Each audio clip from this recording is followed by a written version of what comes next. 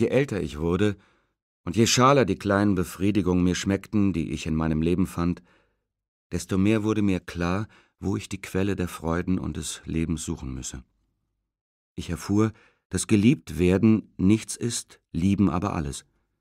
Und mehr und mehr meinte ich zu sehen, dass das, was unser Dasein wertvoll und lustvoll macht, nichts anderes ist als unser Fühlen und Empfinden.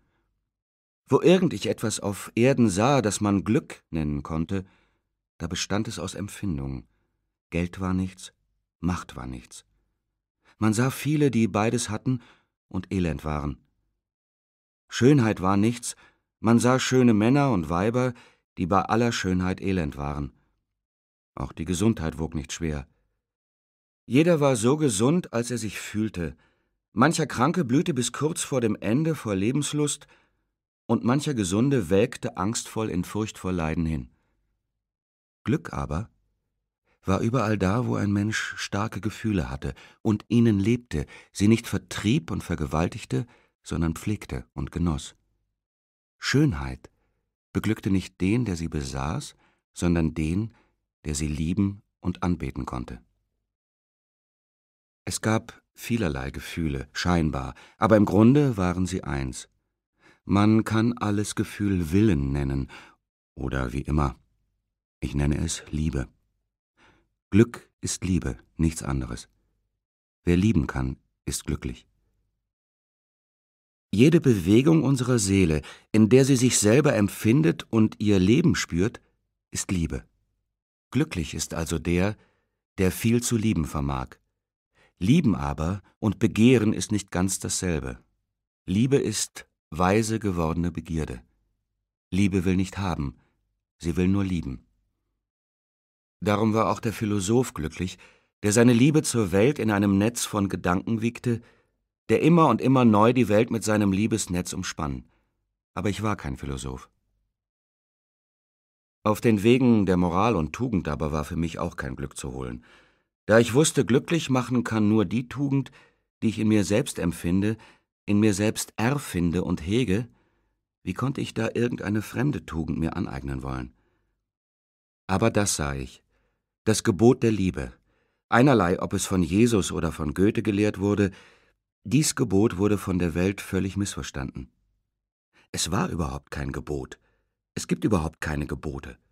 Gebote sind Wahrheiten, wie der Erkennende sie dem Nichterkennenden mitteilt, wie der Nichterkennende sie auffasst und empfindet. Gebote sind irrtümlich aufgefasste Wahrheiten. Der Grund aller Weisheit ist, Glück kommt nur durch Liebe. Sage ich nun, liebe deinen Nächsten, so ist das schon eine verfälschte Lehre. Es wäre vielleicht viel richtiger zu sagen, liebe dich selbst, so wie deinen Nächsten. Und es war vielleicht der Urfehler, dass man immer beim Nächsten anfangen wollte.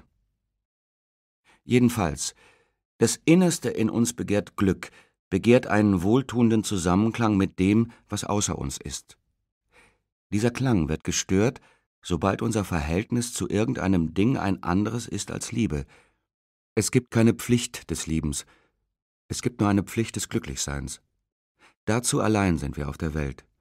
Und mit aller Pflicht und aller Moral und allen Geboten macht man einander selten glücklich, weil man sich selbst damit nicht glücklich macht. Wenn der Mensch gut sein kann, so kann er es nur, wenn er glücklich ist, wenn er Harmonie in sich hat, also wenn er liebt. Und das Unglück in der Welt und das Unglück bei mir selber kam also daher, dass das Lieben gestört war.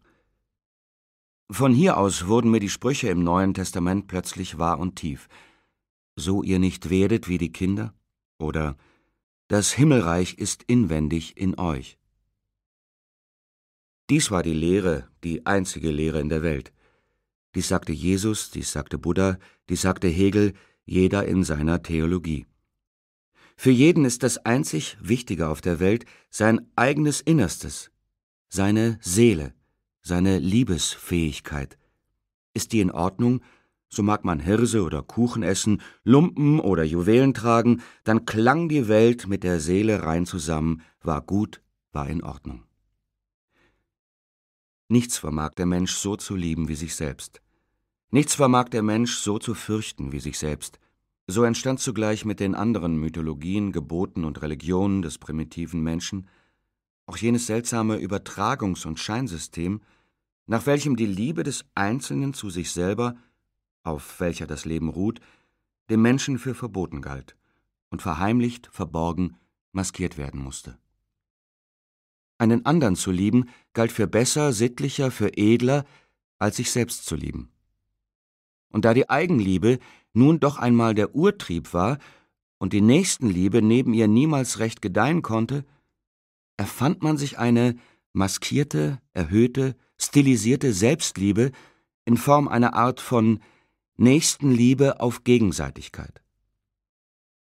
So wurde die Familie, der Stamm, das Dorf, die Religionsgemeinschaft, das Volk, die Nation zum Heiligtum. Der Mensch, der sich selber zuliebe nicht das kleinste Sittengebot übertreten darf, für die Gemeinschaft, für Volk und Vaterland darf er alles tun, auch das Furchtbarste, und jeder sonst verpönte Trieb wird hierzu Pflicht und Heldentum. So weit war die Menschheit bis jetzt. Vielleicht würden auch die Götzenbilder der Nation mit der Zeit noch fallen, und in der neu entdeckten Liebe zur ganzen Menschheit käme vielleicht die alte Urlehre wieder neu zum Durchbruch. Solche Erkenntnisse kommen langsam, man windet sich zu ihnen in Spiralen hinan, und wenn sie da sind, so ist es, als habe man sie im Sprung, im Nu erreicht. Aber Erkenntnisse sind noch nicht Leben. Sie sind der Weg dazu, und mancher bleibt ewig auf dem Weg.